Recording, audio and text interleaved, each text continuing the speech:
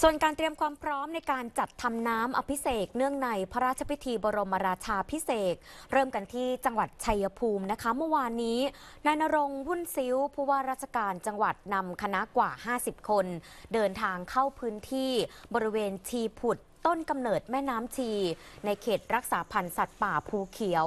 โดยใช้เวลาเดินทางกว่า 5 ชั่วโมงค่ะคุณผู้ชม ผ่านป่าภูเขียวที่ตำบลนางแดดอำเภอหนองบัวแดง เดินเท้าข้ามลำน้ำปีนหน้าผาสูงชัน เพื่อไปยังบริเวณชีผุด ซึ่งชีผุดนี้นะคะก็จะมีลักษณะเป็นโขดหิน และเป็นตาน้ำไหลออกมาตลอดเวลา ไม่มีเวลาแห้งเลยนะคะ โดยร่วมกันปรับพื้นที่เพื่อเป็นสถานที่ประกอบพิธีพลีกรรมตักน้ำศักดิ์สิทธิ์ค่ะ ส่วนที่จังหวัดหนองคายนะครับ นายรณชัยจิตวิเศษ ผู้ว่าราชการจังหวัดหนองคาย พร้อมกับหน่วยงานที่เกี่ยวข้องก็ได้ตรวจความพร้อมสถานที่ ที่จะทำพิธีพลีกรรมตักน้ำศักดิ์สิทธิ์ที่สระมุจลินในวัดพระธาตุบางพวน ที่ตำบลพระธาตุบางพวนอำเภอเมืองหนองคายครับ ซึ่งทางการปกครองส่วนท้องถิ่นก็จัดเวรให้มีการดูแลแหล่งน้ำศักดิ์สิทธิ์ให้มีความสะอาดเป็นระเบียบเรียบร้อย เพื่อพร้อมในการประกอบพิธีพลีกรรมในวันที่ 6 เมษายนนี้ด้วยครับ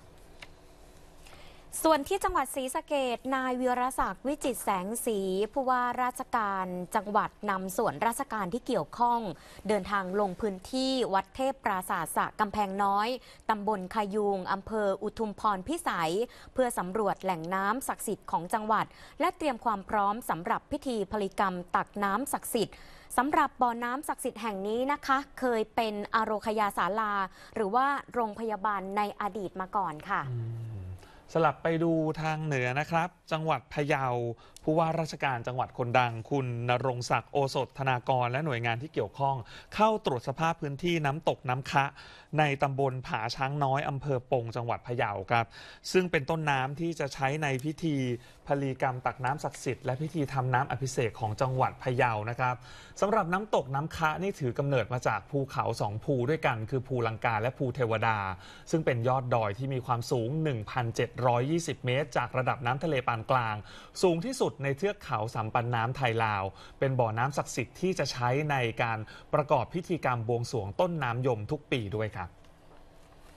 อีกแห่งหนึ่งนะคะ ที่บ่อน้ำศักดิ์สิทธิ์วัดสระแก้วจังหวัดจันทบุรี นายพงพัฒน์วงศ์ตระกูล รองผู้ว่าราชการจังหวัดก็ได้มีการนำเครื่องมือวัดคุณภาพน้ำภาคสนาม มาตรวจสอบก็พบว่ามีความสะอาดได้มาตรฐาน โดยวันที่ 21 มีนาคมนี้จะจัดกิจกรรม ร่วมพลังจิตอาสา ร่วมกิจกรรมบำเพ็ญประโยชน์ ปรับปรุงภูมิทัศน์และทำความสะอาดพื้นที่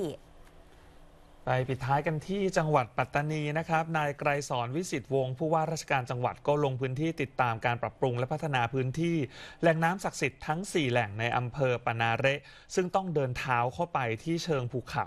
ผ่านพื้นที่ป่าเป็นระยะระยะนะครับแล้วก็ที่อำเภอมายอ กับอำเภอโคกโพในจังหวัดปัตตานีด้วย ซึ่งการปรับปรุงแล้วก็พัฒนาแหล่งน้ำในแต่ละพื้นที่ตอนนี้ก็มีความคืบหน้าเป็นลำดับครับ